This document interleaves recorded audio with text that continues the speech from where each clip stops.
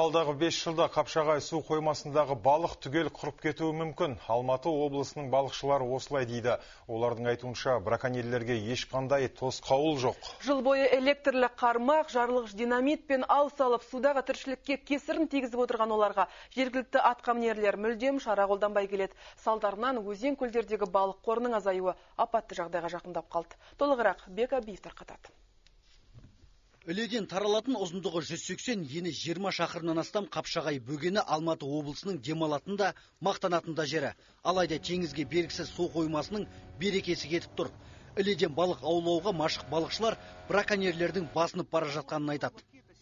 Это даже не сеть, это остатки от сети. Вот что остается от сети, когда ее бросили. Бутылки, веревки. Где-то там ошмети этой сети есть. Апта сайын ілемен қапшағайға қармақ салатын әуесқой балықшы андрей ляджиннің әркез көретіні осы. Үзілген қытайлық арзанқол аудың қалдықтары мен динамит электр қармағынан өлген балықтар қапшағайдың ажырамас көрінісіне айналып барады дейді ол. Угрожают потому что замечание им сделать невозможно. Они қапшағайда балықшылардан браконьерлер көп жүретін болды қазір. Бұрын бізді көрсе теріс айналып кететін еді. Ал бүгінде ескерту жасасақ қорқытатын шығарды қапшағайда балықтың отыз шақты түрі болған. Қазір оның бірнешеуі атымен құрған дейді әуесқойлар. Мәселен бұрын қойша өрген амур ақ амур балықтарын қазір кездестіре алмайсыз.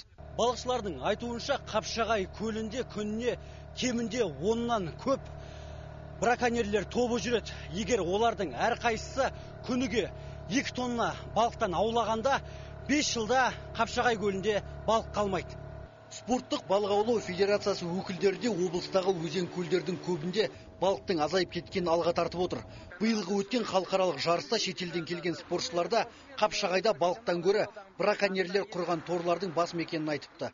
Біз енді қазір өте қиын жағдайға келіп отырмыз. Біз де өкіметке жазып отырмыз. Қапшағай ең болмаса үш жылға жаңағы торлардың бәрін алып тастау керек деп да сол кезде балықтың бұрынғы замандағы балықтардың саны сонша көбейетін шығар деп ойлаймыз. Бірақтан әлі қозғалған жоқ тірліктер ал балқаш алакөл облысаралық балық шаруашылығы инспекциясы жыл басынан бері браконьерлерге қатысты 863 әкімшілік іс қозғаған. Алайда қозғалған қылмыстық іс біреу ғана.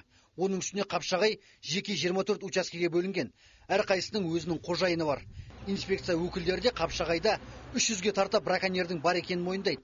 Тек оларды ұстауға әдеттегідей бюрократиялық тетіктер кедергі келтіріп тұрған көрінеді. Бізге телефонмен емес бізге жаңа жазба түрінде арыз түссе біз сол жазба түрдегі арызды өзімізге тіркейміз де тіркеген соң жаңа орган цпс прокуратура бар соған тіркейміз тіркеген соң жаңағы табиғат пайдаланушыға хабарлаймыз. Бір күнде сіздер келіп тексереміз деп. Соны арты жұмыс істейміз.